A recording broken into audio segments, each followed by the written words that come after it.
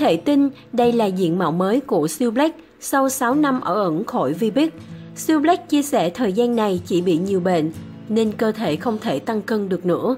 Hiếm hoi tái xuất sau thời gian ở ẩn, siêu Black khiến nhiều người bất ngờ bởi nữ ca sĩ gầy đi rất nhiều, gương mặt chị cũng có phần tiều tụy khắc khổ hơn so với trước đây. Siêu Black lần đầu trải lòng về cuộc sống khốn khó của mình. Theo đó, Họa mi núi rừng cho biết, chị sống ở quê nhưng khi có việc thì vẫn về Sài Gòn. Chị đi hát gần 30 năm rồi nên có tiếp tục hát nữa hay ở nhà thì cảm giác không thay đổi. Việc đi hát với nữ ca sĩ cũng không quá quan trọng mà chủ yếu là giữ gìn sức khỏe. Giải thích về việc sụt cân, Sue Black cho hay vì thời gian này chị có nhiều bệnh trong người nên mặc dù đã ăn rất nhiều nhưng cơ thể vẫn tự xuống cân. Tuy nhiên chị khẳng định sức khỏe của chị hiện đã ổn định hơn. Tuy gầy hơn nhưng Sue Black cho biết sức khỏe của chị vẫn ổn định. Sue Black kể, trước đây chị ngồi bao lâu cũng được, hát vài tiếng cũng không sao. Còn bây giờ bị mệt thường xuyên, chứng kiến các đồng nghiệp ra đi sớm, nhất là những người mới tham gia chương trình. Nhưng đã mất, chị buồn và sốc. Đôi khi siêu Black tự hỏi có lẽ chị cũng có ngày như họ, mới hát đó thôi, nhưng hôm sau sẽ thông báo tin của mình rồi. Cũng chia sẻ trong chương trình, nữ ca sĩ cho hay hiện tại cuộc sống của chị khá bình yên. Toàn thời gian của mình chỉ dành cho việc chăm sóc con cháu và đi lễ.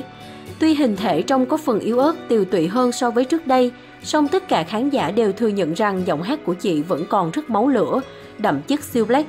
Đặc biệt, tinh thần của nữ ca sĩ vẫn luôn lạc quan và vui tươi.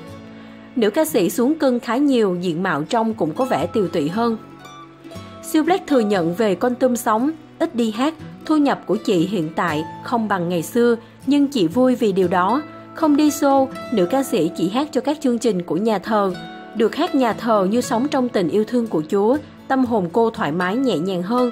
Nếu không có niềm tin đó, chị không thể sống được đến bây giờ. Trước khi vụ scandal vỡ nợ được lan ra, Sue Black vẫn là một ngôi sao. Mặc kệ những lời đồn đoán, Họa mi núi rừng vẫn là một cái tên có sức nặng trong làng giải trí.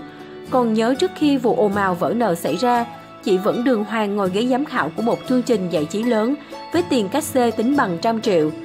Chỉ sau một thời gian, Siêu Black xuất hiện với gương mặt u sầu, hằng lên những vết gợn của mệt mỏi âu lo. Hiện tại, chị đã lấy lại được cân bằng trong cuộc sống.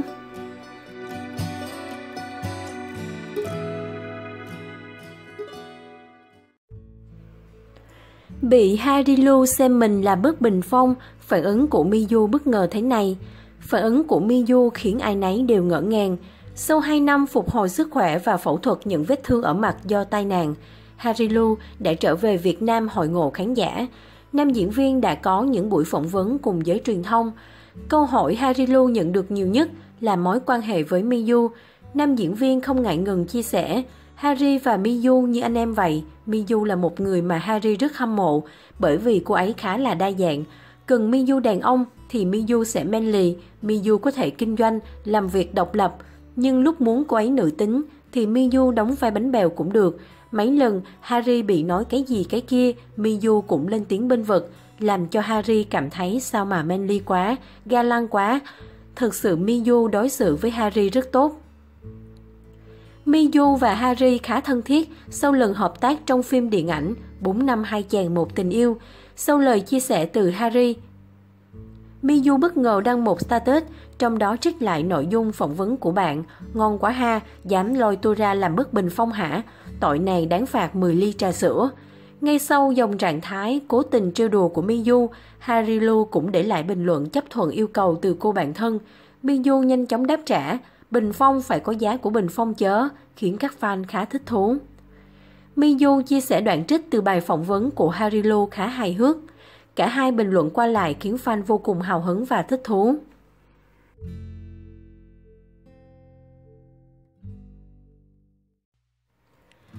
Chắc chắn Hương Giang Idol sẽ lên ngôi Hoa hậu tại Hoa hậu chuyển giới quốc tế 2018.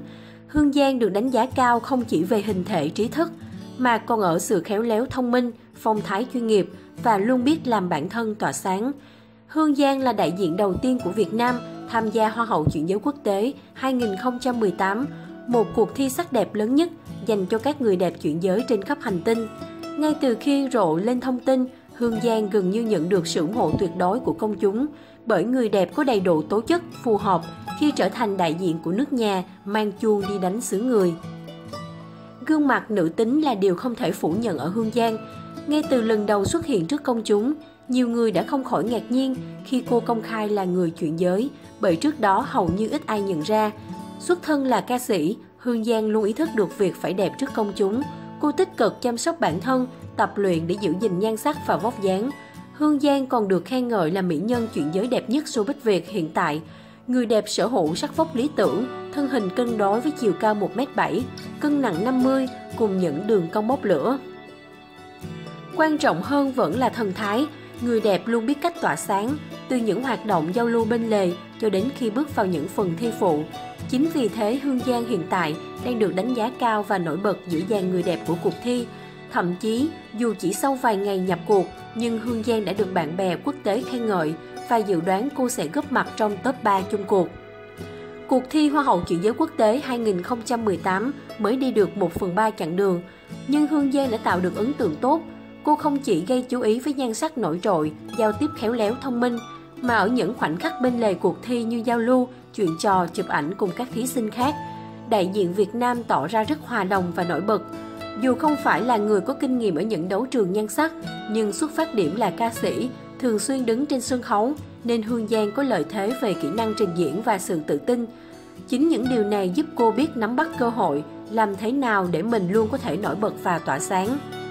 Nếu những thí sinh Việt dự thi nhan sắc quốc tế, khả năng ngoại ngữ luôn bị chê mắc lộ trang phục hay trang điểm, thì sự thể hiện của Hương Giang lại gần như chưa gặp bất cứ lỗi nào, trái lại cô liên tục thuộc top thí sinh nổi bật. Vốn tiếng Anh của Hương Giang rất đáng khen ngợi và nó đã giúp nữ ca sĩ rất tự tin trong giao tiếp. Trong buổi trả lời phỏng vấn cùng báo chí, dù không biết trước được kịch bản hay có sự chuẩn bị trước, nhưng Hương Giang đã có câu trả lời thông minh, thuyết phục và trôi chảy. Câu chuyện thay đổi cuộc đời và ngoại hình của Hương Giang có lẽ cũng chỉ giống những thí sinh đến với cuộc thi này khi tất cả đều là những người từng trải qua sự miệt thị hay chịu đau đớn để được sống là chính mình. Tuy nhiên, cách Hương Giang kể lại chuyện mình thì lại rất khác. Trong buổi phỏng vấn với báo chí Thái Lan, khi nhận được câu hỏi về lý do tại sao đến với cuộc thi từ Diana, Hương Giang đã biến câu trả lời của mình thành một câu chuyện xúc động và nhân văn. Điều khiến khán giả ấn tượng câu chuyện mà Giang kể là bắt nguồn từ câu hỏi ngược lại MC đang trò chuyện với mình. Tôi hỏi bạn một câu được chứ, giả sử trong tương lai, những đứa con của bạn muốn được chuyển giới bạn sẽ làm gì? Tôi sẽ ủng hộ bằng mọi cách. Câu trả lời của Diana chính là bắt đầu câu chuyện của Hương Giang. Lý do nằm trong câu chuyện của tôi. Bố mẹ đã không ủng hộ khi tôi muốn chuyển giới. Họ mặc định là cái cây phải có màu xanh, chứ không thể nào có màu hồng. Và đó là lý do họ không chấp nhận tôi chuyển giới. Tôi đã đến Thái Lan một mình để tìm lại chính bản thân, trở thành phụ nữ.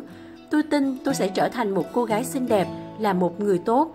Lý do tôi có mặt ở đây ngày hôm nay là tôi muốn mang câu chuyện của mình đến với nhiều gia đình trên thế giới. Khi họ vẫn chưa chấp nhận những đứa con của mình, tôi muốn lan truyền thông điệp để họ cho con cái được chuyển giới. Bởi ở Thái Lan, những người chuyển giới đều rất tuyệt vời và tốt bụng. Câu trả lời tự tin và đầy thuyết phục của Hương Giang đã khiến hot Diana thốt lên, bạn thực sự tuyệt vời và tôi sẽ ủng hộ cho bạn trong cuộc thi này. Khéo léo và phong thái chuyên nghiệp, chỉ mới một phần ba chặng đường nhưng cách mà Hương Giang tỏa sáng đã khiến công chúng không có gì phải hoài nghi về việc cô sẽ có một thành tích tốt hơn. Và đó là lý do khiến chúng ta phải đặt niềm tin tuyệt đối vào cô, động viên cô giành chiến thắng.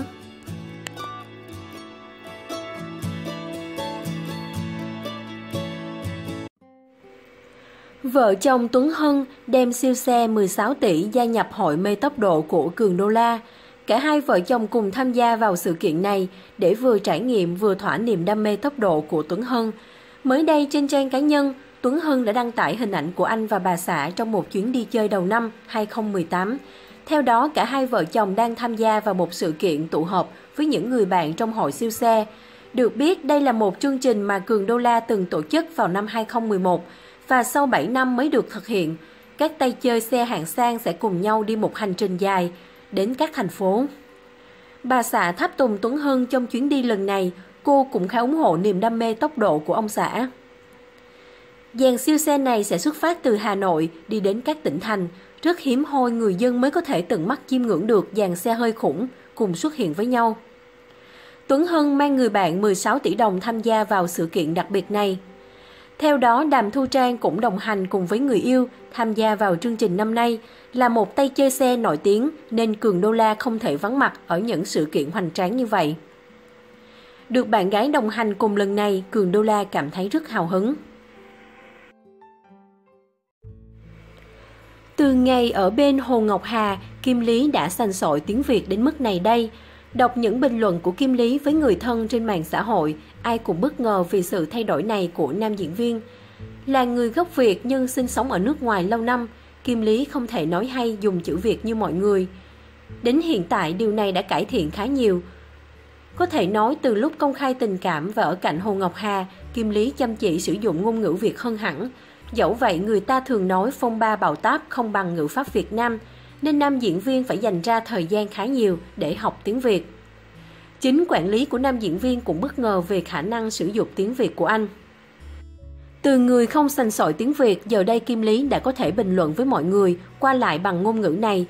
Theo chia sẻ của nam diễn viên thì mỗi ngày anh đều dành 2 tiếng ra để học cách dùng và nói tiếng Việt. Dù rất khó, nhưng Kim Lý cho biết mình không đầu hàng, thậm chí anh rất vui vì mình có thể viết và trò chuyện nhiều hơn bằng thứ tiếng này. Thời gian gần đây, anh thường xuyên chia sẻ dòng trạng thái lên trang cá nhân bằng tiếng Việt. Trước đó anh và Hồ Ngọc Hà cũng thường xuyên đối thoại ngọt ngào, khiến ai cũng phải ghen tị. Anh công khai gọi nữ ca sĩ là em yêu trước sự chứng kiến của mọi người. Kim Lý là một diễn viên người mẫu nổi tiếng người Thụy Điển gốc Việt. Anh là từ khóa được rất nhiều người tìm kiếm, bởi anh được cho là người tình mới của nữ hoàng giải trí. Cặp đôi này bán duyên sau khi Kim Lý tham gia MV Cả một trời thương nhớ của Hồ Ngọc Hà. Trên mạng xã hội, cả hai liên tục dành lời ngọt ngào và công khai tình cảm với nhau trước đông đảo người hâm mộ.